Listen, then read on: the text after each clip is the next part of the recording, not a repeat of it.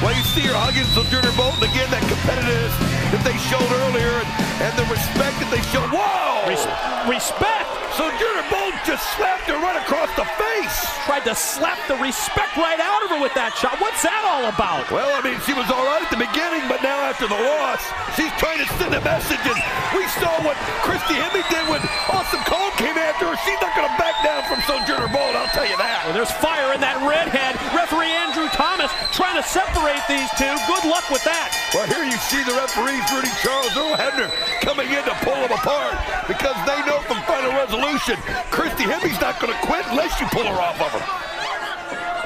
Finally, the officials get in and separate these two. I'm not exactly sure what Sojourner Bolt was thinking right there. Well, she's trying to make a statement, I think, trying to make a name for herself, and maybe she felt that Christy Hemme was just a little too smart.